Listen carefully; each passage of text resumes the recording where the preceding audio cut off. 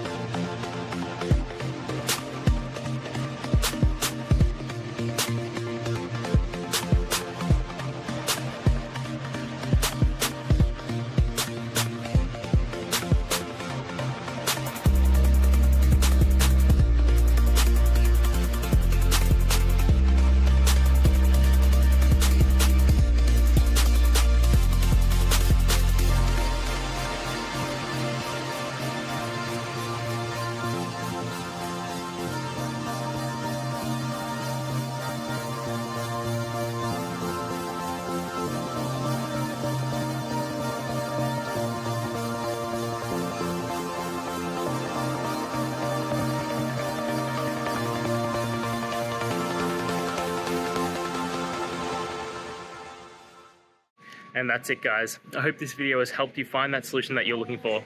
If it did, please hit the subscribe button. I'd really appreciate it. And until next time, I hope you have a good one. Cheers.